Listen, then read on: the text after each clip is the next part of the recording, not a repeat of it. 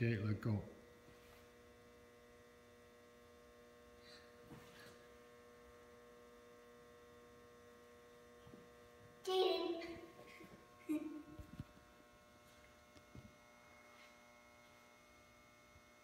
Sing a song for everybody. Why not? Usually your mouth never quits moving. Now all of a sudden you pucker up.